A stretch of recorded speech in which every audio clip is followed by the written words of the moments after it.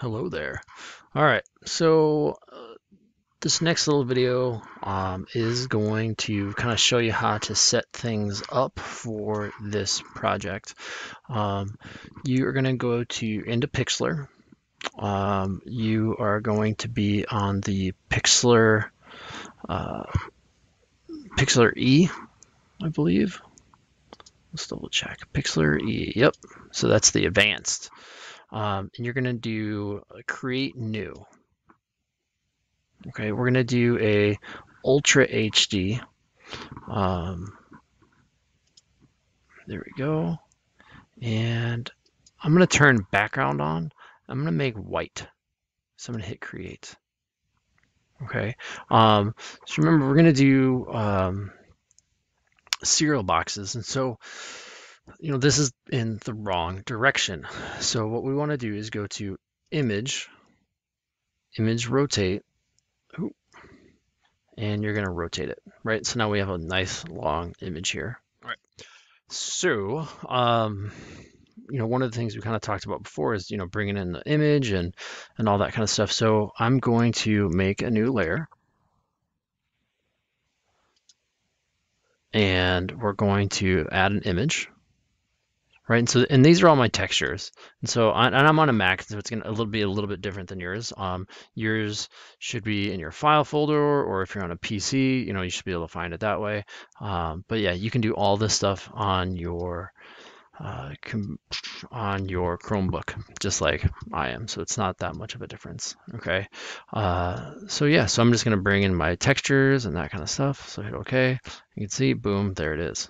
Okay. Um, and that's how I'm going to get started. Um, I am going to try to do this Tony the Tiger Frosted Flakes box. And so let's, I already kind of started it so you can kind of see where I'm at with it. So you can see I have a handful of layers here. Um, let's turn some of them on and off so you can kind of see what's going on here. So the first thing I did was I brought in a texture and I went in just like I talked about in one of the other videos. I went into adjustments and changed the colors. Uh, ooh, gotta make sure I'm on the right layer. I went into adjustments and changed my, and I used color balance um, to get it to this. Uh, the next thing I did is I brought in a texture, which was this, and used my lasso tool to cut it out. And I did the Command C, Command V to actually copy it. And then this is what I got, right? So this um, was my original texture here, um, but I used my colors or my adjustments in color balance or hue and saturation. It's up to you how you change your colors. Um, and that's how I ended up with this, which is kind of cool. Um, the next thing I brought in, oh, I got a phone call. We're going to decline that for right now. Um, cool. So now we have our shape. You can kind of see just like over here. This is our base shape. The next thing I'm going to do is, let's see. So I brought in another layer, a similar texture, a little bit different. One thing you notice here, it's kind of see-through. Um, and so what I did was because I, I was going to make the white face shape out of that, um, I brought in a layer and actually made it transparent. So that way I can actually see where I'm going to cut. So I made this rough shape there. Okay, and then I did Command C, Command V, and ended up with this, right? I went into my adjustments, I messed around with my color balance, highlight, you know, some of that stuff to get it to a white, um, and then I actually hit it, and then I went into my uh, went into my original image of this guy down here, this orange one, use my selection tool. And this time I actually turned on polygon. Um, and up here, one of the things I didn't talk about too much is doing add to selection or removes from selection. With this, um, I can actually go in and make multiple selections at the same time because every time I make a new selection, it's going to add to it. right? So I actually went in and did all of these things at the same time. Let's deselect that.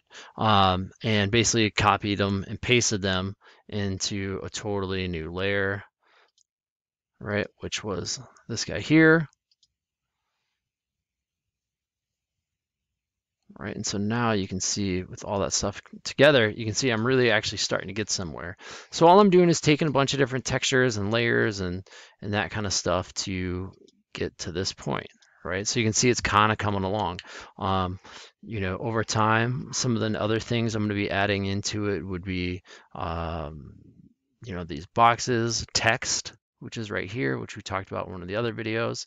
Uh, and so I'm just kind of recreating it, you know, um, step by step. It takes a while, but uh, yeah, you'll have a handful of days, and there's gonna be a lot of lot of troubleshooting and messing around and playing around with it to get it to where you want it to be. But you guys, I'm gonna give you like you know a good chunk of this week and at least all all week next week just to see you know where we're at with stuff and just kind of playing around. But um, you know even though it's an online software i think you can end up with some really cool stuff out of it. So there you go. Please feel free to reach out to me um, whether it's during the office hours or just send me an email or any of that stuff. And I should be able to respond to you right away with some of your questions and that kind of stuff. So, and I'll make more tutorials if there's a bunch of stuff that uh, people feel like they need help with.